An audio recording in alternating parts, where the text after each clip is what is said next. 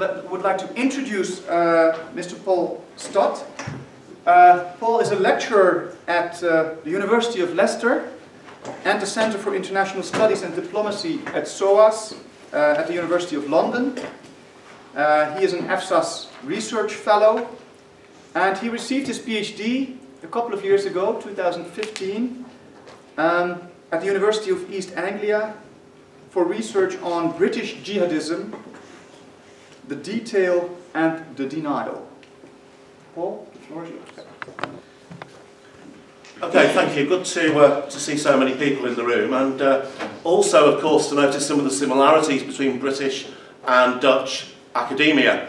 Um, at SOAS we talk about SOAS time, means that everything starts five or ten minutes later than advertised and uh, we've been fashionably late here as well. So uh, I've always said when I write my memoirs of my time as a British academic, I'm going to call the book Let's Just Give It Another Five Minutes, Shall We? And, uh, so, um, more seriously, thank you everyone for uh, the invitation and to uh, the faculty and to EFSAS for the organisational work. Now, I start with an image that uh, perhaps the lighting isn't uh, 100% clear, but uh, this is a picture taken in London of the group that's usually referred to as Al Maharoon, which translates as the Exiles. And this is a banned group under counter-terrorism legislation in the UK, and a group that has, has basically renamed and reformed itself continuously over more than a decade, taking a series of different names. So you'll sometimes find uh, the same people in uh, Muslims for, Against Crusades, same people in the Sharia project, same people in Islam for UK, etc., etc. And this particular uh, image is on a day, I think it's 2011 or 2012, when they launched a group called Sharia for Pakistan. Okay. So today, going to focus on, on one particular type of uh, terrorism, jihadist uh, violence, and at times probably be a bit more of a focus on the UK perhaps than continental Europe. Although I will go on to talk about how the links between Britons and individuals and groups in uh, e, e, uh in other uh, EU countries have become increasingly important.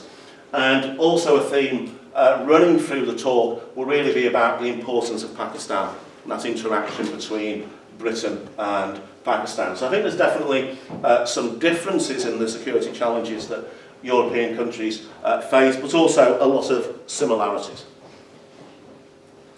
Now, it's always a challenge in any talk on terrorism to know where to start.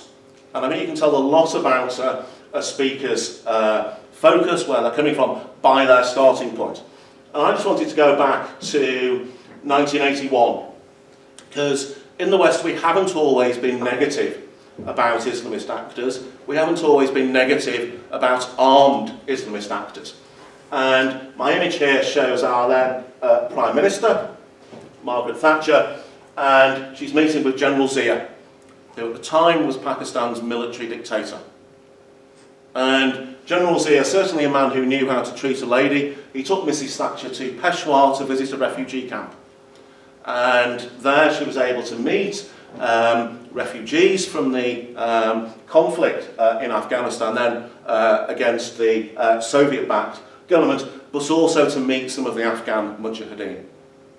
So this was very much an endorsement from the UK, firstly of Zia, who seized power in a military coup and executed uh, the previous uh, leader, uh, Zulfikar Bhutto, but it was also an endorsement of that armed struggle against communism. So there's a, a particular backdrop and uh, one that I do think we need to, to recognise and engage with. Uh, Mark Curtis in his book on uh, the relationship between Britain and radical Islam finds very much that, uh, contrary to what you might expect, the UK has, has usually been able to find some, foreign, uh, some common ground with uh, religious actors, probably much more so than those on the radical left or nationalist actors in the Middle East and South Asia. Now, the 1990s is probably the, uh, the decade where we first see a cross-fertilisation of uh, ideas and actions between uh, groups and uh, clerics in South Asia and Europe. And particular starting point really is the Bosnian uh, Civil War, where uh, I think as Evan Kohlmann said in his book, this really brings together uh, young idealistic Western Muslims with Arab fighters uh, looking for their next struggle after uh, their uh, victory, uh, as they saw it in Afghanistan, and also fighters from the Indian subcontinent. And certainly for a lot of, of young Britons who uh, are radicalised in this era, the, the Bosnian conflict is, is particularly uh, important. And when that comes to an end, people are seen uh, moving on to Kashmir and then later in the decade on to Afghanistan. But it's not simply about armed groups uh, necessarily. Um, if we look at uh, 1993, we see the first of a series of, of speaking tours of uh, controversial uh, Pakistani clerics in the UK. So you have uh, Masood Azhar coming to speak to the Deobandis, uh, a particularly conservative strain um, of Islam, who um, I think govern more mosques than any other stripe of Islam uh, in Britain. And by 1994, it's really clear to the authorities that some things are happening. And we have the involvement of uh, Omar Saeed Sheikh, a, a former uh, British student at the London School of Economics, in kidnappings in India. And look at my, my further example there of the, the speaking tour of uh, members of the Lashkar Taiba uh, group, which included speaking at Leicester University, where I do some of my teaching. I don't really think the authorities had much of a handle on, on who these guys were. But we now know, for example, in the, the speeches at the university, they were calling on people to go to Bosnia, to go to Kashmir, to fight. And that particular group, Lashkar uh, Taiba, uh, ends up being responsible for the Mumbai attacks in 2008. Just excuse me one moment, I'm wrestling with a cold at the moment. How did young Britons come into the jihadist organisations in this period? Well, this is an email from a press expose in 1999 which concerned a, a rail industry professional, uh, man working for, for Railtrack, called Mohammed Sahal, who was really the sort of the go-to point for Britons wanting to train in Pakistan uh, occupied Kashmir. Uh, uh, Muzaffarabad uh, get my tongue around it there. And he's recruiting, as you can see, to camps run by the LET group. Advanced training for three months for students, there's a sort of shorter version, just uh, 15 days. And he can also arrange for you to go to Afghanistan.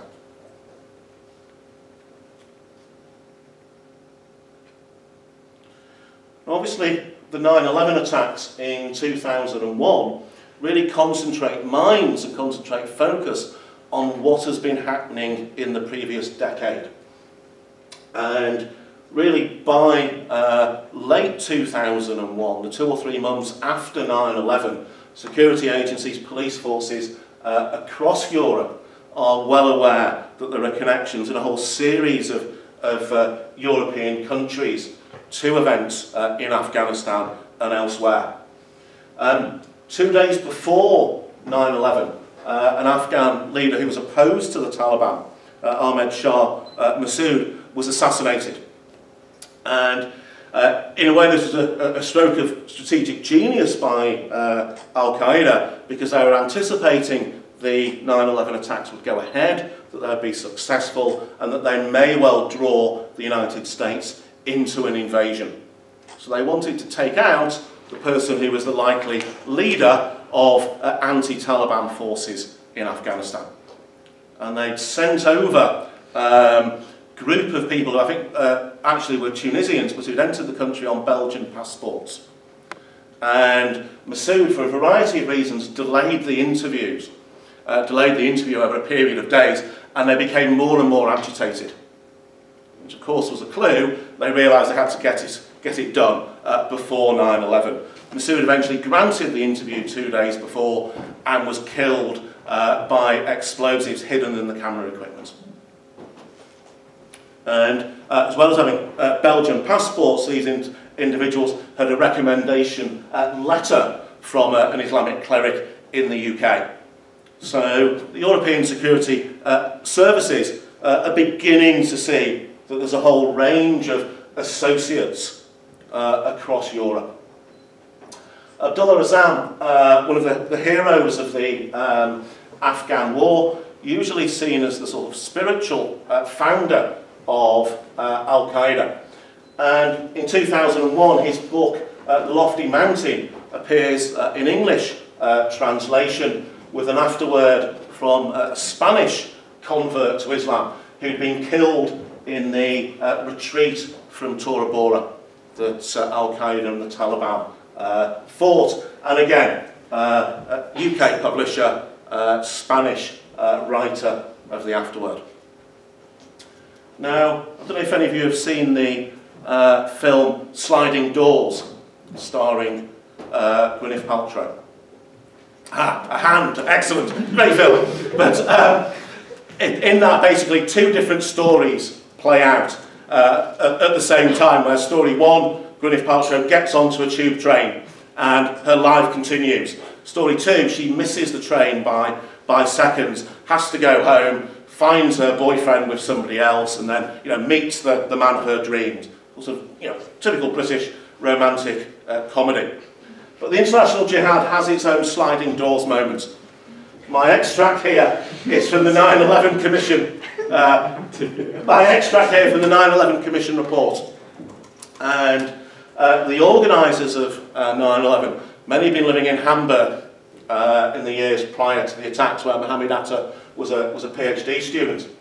And according to the, the Commission report, they'd all agreed that they would finish their time in Germany and go to Chechnya to fight the Russians. And by chance, they met a fellow Arab on the train who said, no, don't go to Chechnya, go to Afghanistan.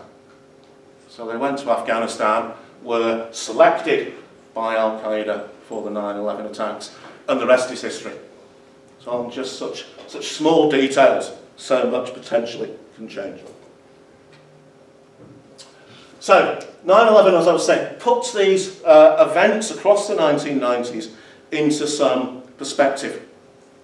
And we begin to get uh, across Europe a critical examination. Some of those have been travelling to the Indian subcontinent, some of those going to Afghanistan. And this is particularly heightened as arrests start to occur of people uh, flushed out, if you like, by uh, the American bombing campaign in Afghanistan, flushed out by the Americans' tactics of uh, paying large sums of money, bounties for the, for the arrests of uh, foreign fighters. Usually, though, the development of jihadist actors, certainly in the UK, is traced to particular Arab exiles. You have a large group of, of Saudis who settle in the UK in the 1990s who release uh, many of uh, bin Laden's uh, statements by fax um, in the 1990s from Britain. But you also have individuals like Abu Hamza, Abu Qatada, and Omar Bakri Mohammed, who founded the Al-Muhajiroun group, uh, who I pictured earlier, who uh, come from different uh, parts of the uh, Arab diaspora.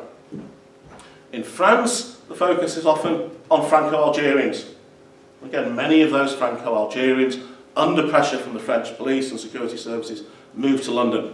Belgium and Holland uh, issues potentially sometimes around uh, those of Moroccan uh, heritage who've popped up in, uh, in different uh, armed groups. But more recently we've seen an interesting shift where um, there's been a, a discovery, if you like, of how central South Asia appears to have been. And the British writer uh, Dave Rich, uh, looking at um, uh, much broader issues, but uh, writes of the jihad in Kashmir, that this really um, was the, the precedent for what we've seen of, of Britons going to Syria. This sort of ideological, uh, this search for actually existing Sharia, search for struggle abroad. And uh, you know, it has a, a, profound effect on British uh, Muslim uh, politics. Innes Bowen, who's the BBC's religious affairs uh, correspondent, stresses the importance of these Pakistani clerics coming to, to Deobandi mosques. I won't go into an enormous amount of detail about some of the individuals uh, here, as they probably won't be uh, familiar to uh, students. But really, we can go back as far as 1996 for the first suicide bombing by, uh, by Britain. And uh, examples here on the screen of a series of actions in either Afghanistan, India or Pakistan involving uh, Britons. Omar Saeed Sheikh, who's in the uh, picture, is uh, arrested by the Indians and is eventually freed uh, alongside uh, Masood uh, after an Indian Airways uh, flight is hijacked and taken to Afghanistan. And the Indians really uh, have no option other than to, uh, to cut a deal. He goes on to be responsible for the killing of Daniel Pearl, an American uh, journalist investigating connections between Pakistan and the 9-11 attacks. And so that's why you'll sometimes find online uh, accusations linking him to Pakistani uh, intelligence. Now Dorothy's going to be on some of those, some of that territory uh, a little later. I have to say, usually Britons popping up in these groups. Um, know, they're not in senior roles. They're foot soldiers. Uh, Omar Saeed Sheikh, probably uh, one of the rare examples uh, to the contrary, and also uh, Rashid Rauf from Birmingham, uh, Britain who marries into uh, the, the um, Army of Mohammed group, uh, the JM, uh, marries uh, the daughter of one of the group's uh, leaders and was killed in an American drone attack, I think in, uh, in 2008, having very mysteriously escaped from Pakistani custody. His guards took him to McDonald's and then left him on their own whilst they went to pray. Okay, some of the terrorist attacks in the UK linked to Pakistan and the period or terrorist plots in the period from 2000 uh, to 2008. And you'll see on there, for example, the 7-7 bombings, the attacks on the London uh, tube system and uh, buses that killed 52 civilians. And it's worth stressing that the two participants in uh, that attack who um, made suicide videos had both been in Pakistan in the months before the attacks. Mohammed Sidique Khan, the organiser uh, of the attacks, right up until I think 72 hours before, was making frequent phone calls to uh, public call boxes in Pakistan. So almost certainly for, uh, for advice. And this led to um, meeting between the British and Pakistani Prime Ministers in 2008 and uh, it's alleged on the British side there, three quarters of the terror plots in the UK originated from Pakistan. In the literature, you may well see uh, a term used, Londonistan.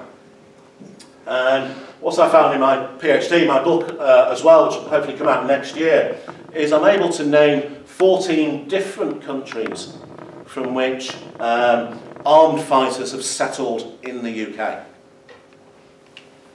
And this really plays out um, frequently uh, in terms of pressure on the British government from foreign governments who are concerned about their own security due to these, uh, these actors, these guys in exile, if you like, are, are, still supporting the cause. The massacre of tourists in Egypt in 1997, for example, um, the Egyptian government blames it on uh, Egyptian fighters based in Afghanistan and Britain.